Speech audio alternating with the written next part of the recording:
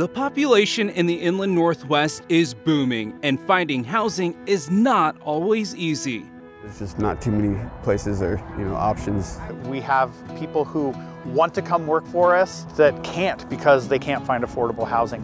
Now, the housing problem is leading some people to find creative solutions. We either could um, buy a 1970s single wide trailer house, or we could decide to live on a yacht. Whether it's life on the water, it's kind of utopian, or a new way to design apartments. We actually had multiple units filled prior to even the, the places being completed. We found plenty of people willing to try something new.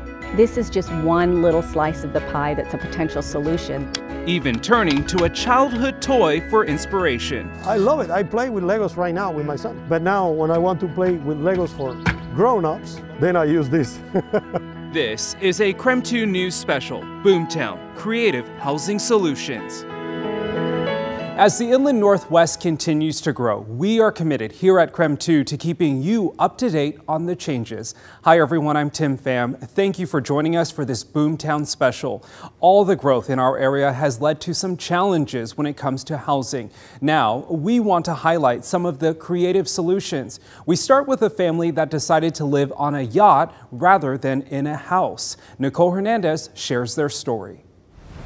Idaho's largest lake known for its wildlife. One, two, three, four, five, six goats. Views. And now, we'll show you our home. Molly. I grew up up at Priest Lake. And Cameron. And I've spent a lot of time on different boats. Not as much as now, though. There we go. And then down here, it's our master bedroom. One of three. This is our galley kitchen. Plus everything else you could possibly need. This is 47 feet. It's like a squished up New York apartment. It's a New York apartment with a good view. But not nearly the price. When I first invested in Bayview, prices were economical, but prices have skyrocketed. For land, at least. Lake Pend Oreille. We looked at what we could spend. We either could um, buy a 1970s single wide trailer house by the railroad tracks in Athol, or we could decide to live on a yacht. All right, my dear. Even after dock fees, boat maintenance, gas prices. It pencils. Otherwise, we wouldn't be doing it. But she's more than just home. This is like Cameron's office. They run a charter business. Maybe we could make a life out of making people happy on this lake. Okay. Yep. This is our business, this is our home, this is, we don't own anything else. Living aboard is the hardest and most expensive way to live the cheap and easy life. Even just getting the boat to Bayview was hard. We motored the boat from Tacoma up through Puget Sound, through the Strait of Juan de Fuca, around the Olympic Peninsula, down the Washington coast, crossed the Columbia Bar, and went up Columbia River to um, the Snake River and ended up in Lewiston. 30 days to make it here. where they've settled in nicely. He says, make sure this airs after Gilligan's Island. with their land neighbors across the way. And that's kind of the beauty of living in a small town is everybody knows us and everybody's really friendly and it's kind of like, I don't know, it's kind of utopian. Pretty good for a family just trying to stay afloat. As people try to save for the future, some are now looking to the past for more affordable housing solutions. Channing Curtis explains the appeal of refurbishing historic homes. There's over 400 properties that are listed individually on the Spokane Register. Megan Duval is a historic preservation officer with the city of Spokane. We're actually in what's a new proposed historic district, which is the Cannon Streetcar Suburb Historic District, and that includes 500 properties. She took me on a walking tour of one of Spokane's historic districts, Boogs Addition, to talk about what goes into adding a home to the Spokane Historic Register. I think a lot of people think we get involved in every decision that you make on your historic house, um, but the interior is really yours to do whatever you want with. With the increase in demand for housing in our area, Duval says some of the historic homes that have been converted into multifamily units can be a way for people to save money on rent. One of the things that, that we said as we went through the Browns Addition Historic District process was sometimes those big mansions from the 1890s or 19, early 1900s that were broken up as early as the 1920s or 1930s, those are some of the most affordable housing units that we have in Spokane. And so by doing something like a district protection, we're actually protecting affordable housing. For people looking to purchase a historic home, you could end up saving money on your property taxes as well. When you own a historic house that's listed on the Spokane Register, if you do make significant improvements to it over a two-year period, we actually have some property tax reduction incentives that we can offer. Um, so for 10 years, the amount you spent on your rehabilitation is removed from your valuation of your property every year for 10 years. So you can pay a lot less in property taxes. We have all kinds of properties on the Spokane Register. So we have grand mansions and we have really simple little craftsman bungalows. And then there's other ones where it's literally just somebody is a labor of love and they over 20 years they're they're just pouring their heart and soul into it themselves. One of those people is Mitzi Hunter. She and her husband moved to downtown Spokane from Seattle due to rising housing prices there. COVID hit, we were living downtown, and it felt like we were the only people there. So after making offers on seven different houses and losing them all, not always because of money, like sometimes it was the love letter, sometimes um, it was the timing or the financing, but this was the seventh house we offered on, and we actually got it for under asking. Now the couple is working to put their house on the Spokane Historical Register. We're nominating the Roche House um, under two categories. One is because it's a um, Swiss chalet bungalow, which is a very specific type of craftsman home. First, just for its historic value, and then because the family that built the home, Gus and Lucy Roche, were early Spokane pioneers. Gus moved here in 1886 and Lucy in 1897. The couple says houses like these aren't just homes, they're a direct connection to our past this house is our responsibility to pass on, to keep it in as good a shape as we can, restore as much as we can without making changes. It's, it's about the house and the city, and we're just along for the ride. As the region grows rapidly, it is important to remember our past. In Coeur d'Alene, a 114 year old home was almost destroyed in the name of progress. But as photojournalist Dave Sommer shows us, sometimes you need to look back to move forward. It's amazing how close this building came to being torn down.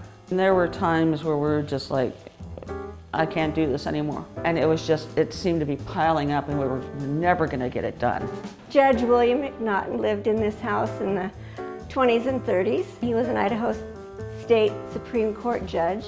Cindy and I first found out about this house in the spring of 2019. This is a more than 100 year old home. The county owns this, but the county says this home needs to go away. We both were familiar with this house just from the exterior and felt that it was a beautiful house and that that was a, a pity. The county had a deadline.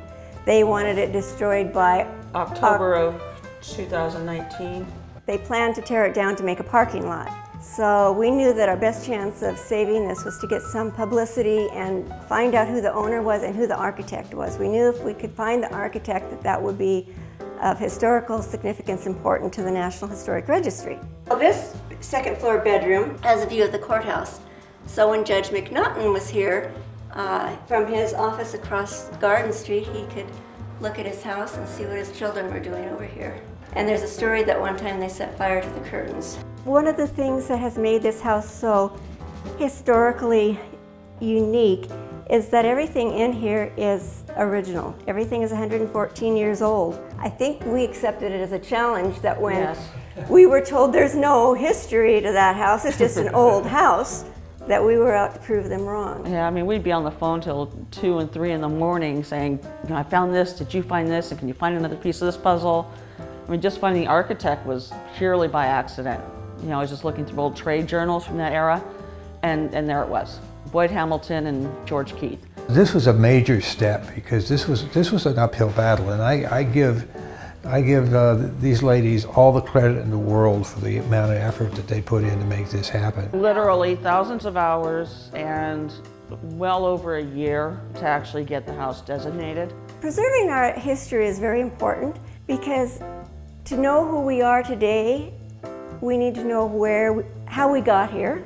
And a lot of people are only concerned with progress without any thought to where we came from or how we got here or what was involved in our roots.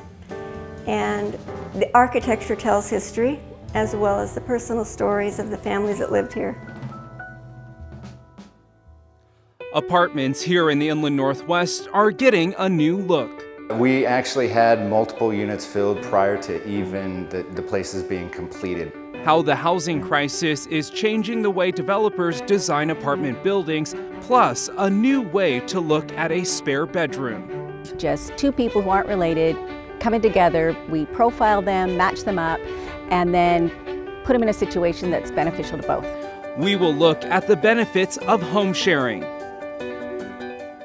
We have much more Boomtown content available for you to watch right now on KREM 2 Plus. To find the stories, just navigate to the News tab at the top of the screen, then scroll down to our Boomtown playlist. If you don't yet have KREM 2 Plus, you can download it on Roku or Amazon Fire now.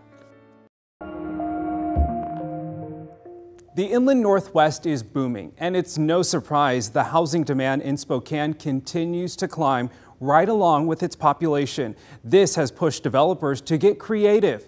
Amanda Rowley shares a new trend with Spokane apartments that could ease the pain of finding housing.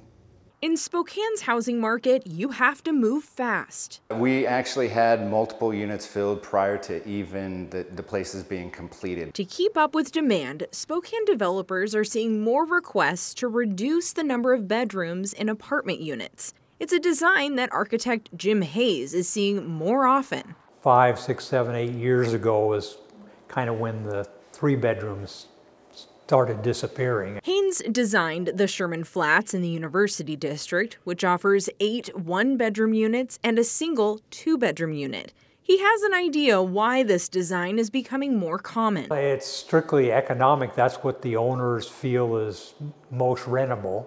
And I, I, I've been told that three bedroom units are kind of difficult to keep them fully occupied all the time. Full-size washer and dryer in each unit. Tyson Young manages this property. He believes the shift to smaller apartment designs can be attributed to an influx of younger people in the community who can't afford to buy their first home under the current housing market. I think it's geared more towards the people who aren't buying. So we, we have kind of that group once once you get to the point where maybe your family is getting a little bit larger, maybe you are in a position to purchase. Uh, so I think it's geared more towards those those younger the younger crowd and first time renters. Now Haynes believes we can expect this new trend to stick around for some time because of the growth in our community. While roommates are common for apartment living, a new program in Kootenai County is looking to help more homeowners rent out their extra space. Nicole Hernandez tells us about home sharing. There's not enough housing supply in our region, meaning prices are getting more and more expensive, including in Kootenai County.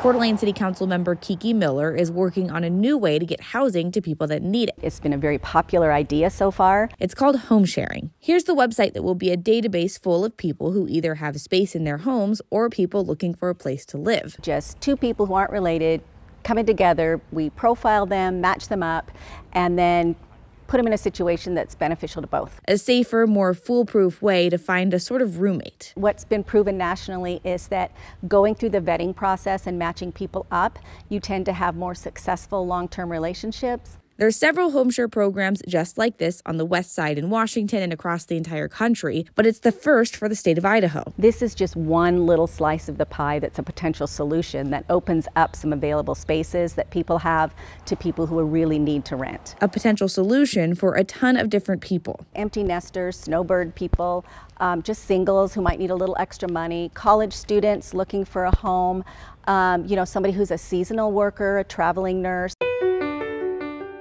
Still ahead on this KREM 2 Boomtown special, a look at the growth in RV living. When you're out here, this becomes your home.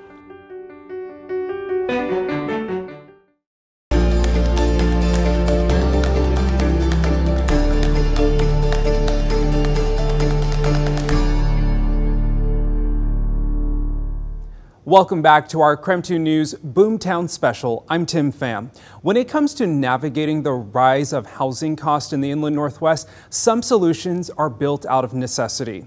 Nicole Hernandez has a closer look at the rise in RV living. Posted up somewhere in Spokane. I'm not sure, just along side of the road. This is where we found Chris Bill and his girlfriend. My, uh, my RV, place of living. Depending on who you ask, you'll hear drastically different reactions to RVs like this one. Hopefully we're not in this situation too long. For Chris, it's not ideal, but it's better than nothing. There's just not too many places or, you know, options. After losing their jobs and falling back on rent, Ended up, you know, getting kicked out of our home, so it's been one month living out of this RV. it can be a little difficult, disappointing, but, you know, goal goal orientated. We'll, we'll be back there, you know, back on our feet in no time. A temporary setback for Chris. Yeah. But for Melissa, Uh, it's my home. it's a step up. It's better than um, freezing our butts off in a tent like we were. A different perspective on an RV Melissa has called home for two years. When you're out here, this becomes your home. She's been homeless for 11 years. I just got tired of paying bills, and that's the truth. Once on the streets, getting back inside seemed impossible. You have to have um, the first month's rent, and then you have to have the deposit, and then you have to have that um, mover's fee. Then after that, you have to um, also be able to make the qualifications. And I don't. Saving up that money is hard with an RV. Because of how old it is, it's a chore. The RV has to be running so Melissa can move when she gets flagged by traffic enforcement. I already had it impounded once. I just had to go do laundry. I get back and it's gone. Neighbors report abandoned cars and RVs to the city, a system that's backed up with complaints. The volume has, has certainly gone up a little bit in terms of the number of abandoned vehicles. The city has to figure out if an RV is abandoned, the owner is just breaking a rule, or if someone is living in it. We emphasize the rules of the road. 24 hour stay rules, no parking rules, registration rules, even if the RV is a home. Objective is always to keep the occupant in the vehicle and to make sure it's safe for everybody. It's a balancing act between the neighbor's perspective and the people needing a roof over their heads. We have people who want to come work for us that that can't because they can't find affordable housing. Housing is becoming a problem for local businesses. Now, Schweitzer Mountain has a plan to keep its employees on the payroll. And it doesn't get much more creative than this. A Liberty Lake man is building a real life Lego house. I love it. I play with Legos right now with my son. But now when I want to play with Legos for grown-ups, then I use this.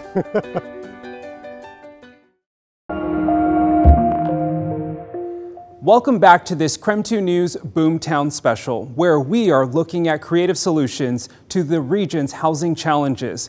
And it's not just people, but some businesses who are coming up with ideas. Amanda Rowley tells us why Schweitzer Ski Resort decided to build its own apartment complex for its employees. Schweitzer Ski Resort employees are struggling to either find affordable housing or keep up with increasing housing costs. Especially during the last couple of years, the explosive growth that we've seen in our region has really brought that to the forefront. And, and, and we're feeling it more than ever, and our employees are feeling it more than ever. Human Resources Director Scott Ald worries if Schweitzer employees can no longer afford to live in the area, it will become a challenge to maintain staffing levels. But he doesn't have to wait and see.